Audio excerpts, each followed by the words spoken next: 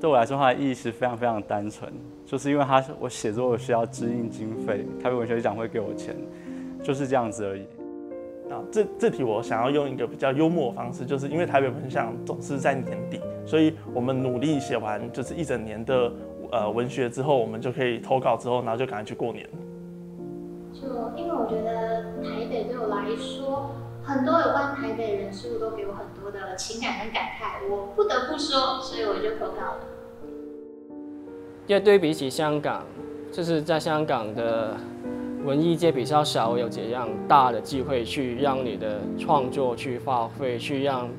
大众、让评审、让一些人去看到。比较少的类似这样子的比赛的东西，所以我觉得我来台湾之后有认识到有这样的一个一个机制，我觉得我就一定要来试试看。一方面当然是想要让我的作品得到肯定，一方面也想要试试看我的作品的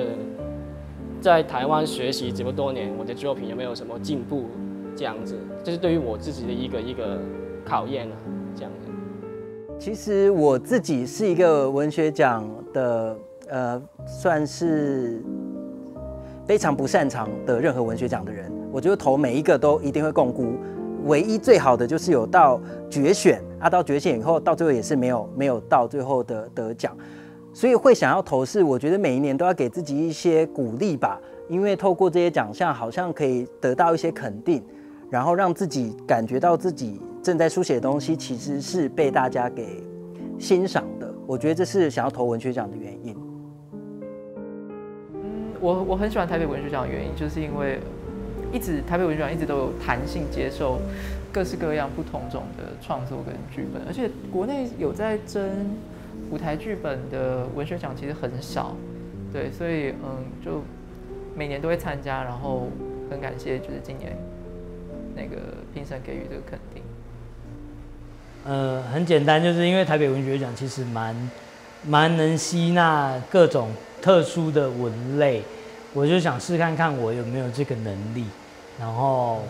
没想到有成功就好了。对啊，这应该是我蛮高兴的一件事情。对，